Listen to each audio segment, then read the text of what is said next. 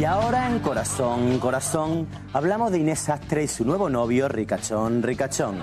La cotizada modelo Casafortuna de pelo aceitunado, cejas azabache y seno de adolescente viciosilla, conoció hace cinco meses en una cacería de codornices grisáceas al financiero venezolano César Vicente Pizarro.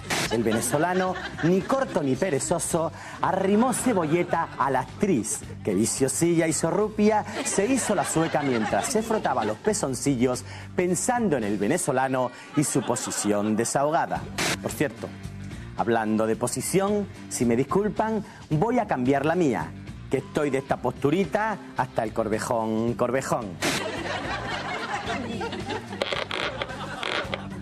Vaya putadón, putadón. Se me han dormido las piernas. Claro, me paso cinco horas así con los muslos cruzados y luego sucede lo que sucede. Me parezco a Posí, el de Crónica Marciana. Agarrosa. Para, dame un perro. Vaya ostión, ostión.